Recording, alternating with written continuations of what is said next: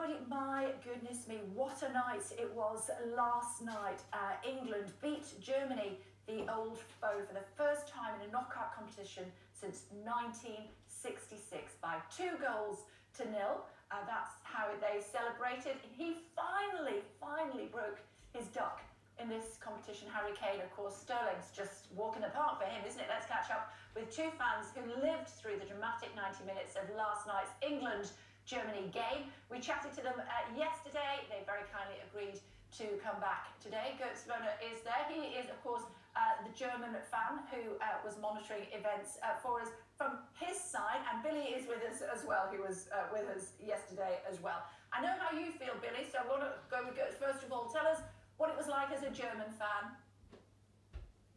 Uh, to be honest, I thought uh, the first 75 minutes of the match were probably one of the worst I've ever seen in my life. And uh, it was just awful football, really, wasn't it? It was boring. And uh, as I said, I watched with some German and English mates, and uh, we were pretty shocked how poor both of them were. And then at the end of the day, England scored the goals in fair play. They won. Congratulations to them. Uh, we're looking at fans actually, as well, German fans, as we're chatting to you, Götz. They were absolutely devastated. You must have gone into this game, given that we haven't beaten you, England, I should say, haven't beaten Germany uh, in a knockout competition since 1966. There must have been part of you yesterday morning when we were chatting, thinking, this is a cakewalk for us. No, as I said yesterday, I always thought it's going to be quite close, and um, that's what it was for 75 minutes. But then again, yeah, England, you know, did manage to score the goals. And in all honesty, I think personally, it really sums up the last few years of Jogi Löw. Germany has been pretty poor since the last World Cup, really, and you can't take it away from him. He won us a World Cup. But uh, as I said in England, good riddance. Good that he goes now and uh, they can start a new chapter. And you know what? Again, as I said yesterday, I'm you know also happy for England, and I hope my second team now goes all the way and brings it home, man. Ah, fantastic. And Billy, you were tweeting in the early hours of this morning. How's the head? Have you had any sleep?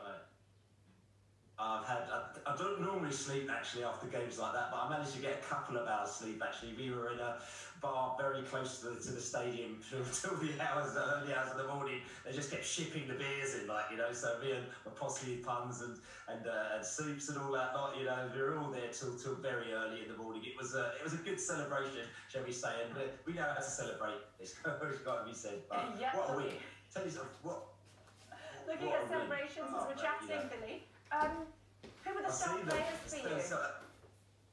Uh, listen, I love Sterling. I think he's, you know, I just think he's brilliant. You know, and I think also Jack Grealish when he came on, he actually kind of took it up another level. You know, I know a lot of people are sort of saying, you know, Jack Grealish, don't drop him. You know, make sure that you know he's playing all the time. Listen, I think we've got to trust the coaches, trust Southgate. I heard Götz what he was saying about terrible game in the first 75 minutes, but I slightly disagree with that because, as I said, you know, we've lost to Germany so many times. We lose all these matches. We, we get to the World Cup semi final, we lose to Croatia because we don't switch it up in the second half. And I think Southgate's learned from that. And I think that we actually went into this game to play a particular side. We didn't want to let Germany score. We just did what we had to do, and then we just took it up a level in the final, was it 15 minutes or so? And we just, when we took it up a level, Germany just didn't know what to do. We went bang, bang goal in the back of the net. See you later. So, uh, and, and, we're in we're in the next round, and that's what you've got to do. You've got to remember we haven't let in one goal.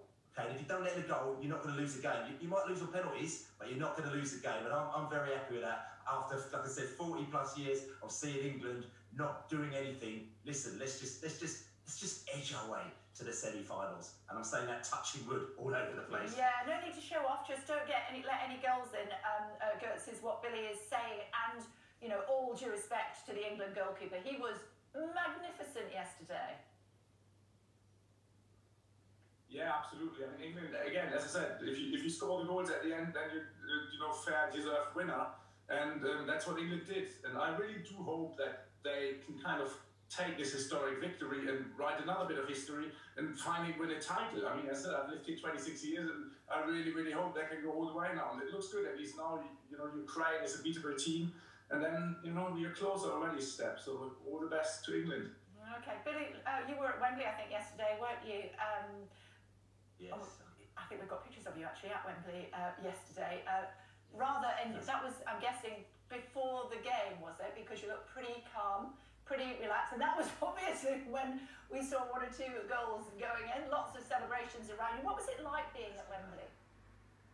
It was great. I tell you something, and I've said to you, I've been to all the matches so far, and the, the, the three previous matches, you go there, you get your ticket, you stand up there, there's a bit of clapping, a bit of cheering, you know, but it's almost like a little bit of a sort of kind of friendly plus. I probably think is the best way to describe it, you know, which is a little bit annoying because FIFA have charged us all sorts of ridiculous money to try and you know to go to the previous matches, and it's uh it's been a bit it's been a bit frustrating for England fans as well because you know we've been shelling out a lot of money and, and it's not quite been the same. But this game we turned around to all my mates, you know, Dave was there, you know, we had the, you know, um, um, Leeds come down from Sheffield as well, Regina and Mark as well, Susan. We turned around and said, this is the first time actually feels like an away day. Like when you go away, you feel the tournament vibe.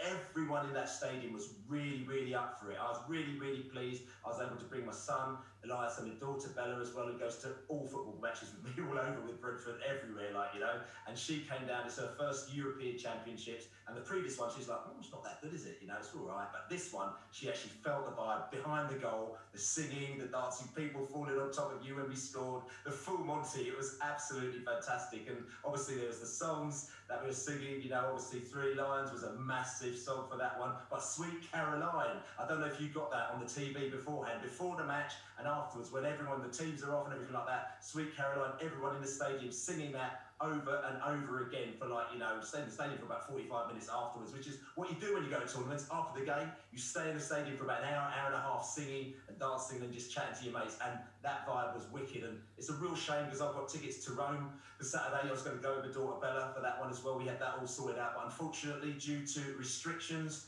I've had to park that one. I'm going to have to go to back to my Scandinavian bar in town and watch the game there with my mates instead because unfortunately can't make it to can't make it to Rome. It's No, but you'll be able to watch the last two games at Wembley, won't you, when uh, England play in the semis and the final?